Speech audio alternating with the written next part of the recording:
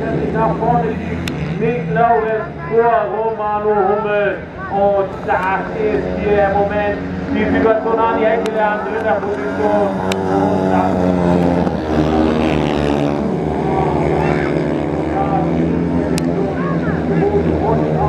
glauben wir, dass er er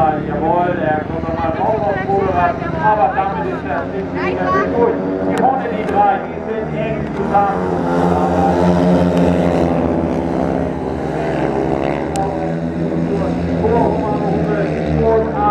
wieder. Und jetzt kommt Romano Hummel von außen.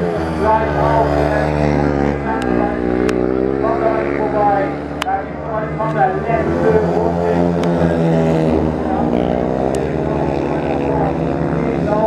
Dahinter Romano Hummel von Adi Händler. Und Romano Hummel probiert es nochmal. Also wir jetzt hier. Aber das ist, das ist so, ich sage,